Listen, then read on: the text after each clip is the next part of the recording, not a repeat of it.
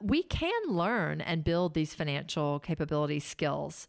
Um, so, starting with even young children, they need to learn about sense of cost of things. They need to learn to distinguish between wants and needs. Uh, you know, maybe we, you know, older children need to figure that out too sometimes. Indeed. so the library offers a lot of resources, many resources and programs for families to start the conversation and for adults to explore personal finance.